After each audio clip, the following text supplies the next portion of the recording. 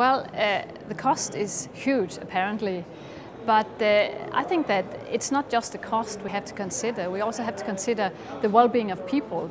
And, and I think that uh, we, as politicians, and our responsibility towards society, the society and the citizens um, push us into try to do more. We need to do more in order to uh, promote uh, more exercise uh, and letting people understand and it, it is for their own benefit and of course also for the benefit of the society.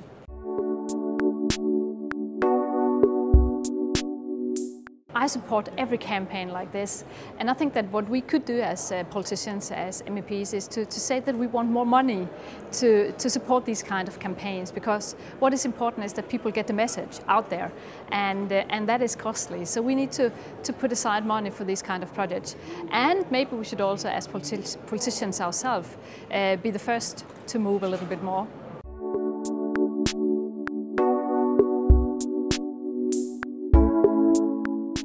Well, by being a good example, by telling about what we're doing.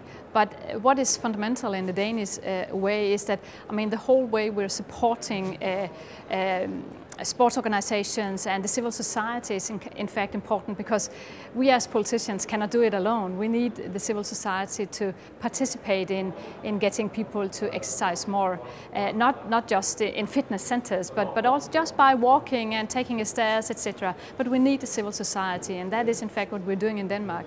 And I think that we could tell the good story that it, it really makes a difference and, and that the civil society is, is extremely important.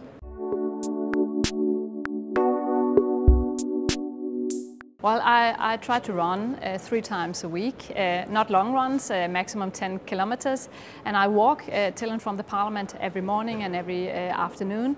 Uh, so I enjoy moving myself because I think it's, it's a good way to, to think and, and to you know, somehow how organize the day in your head by, by walking. So I, I try to be a good example myself. But to be honest, not just uh, to be a good example, but it's because I, I do feel better uh, when, I, when I move.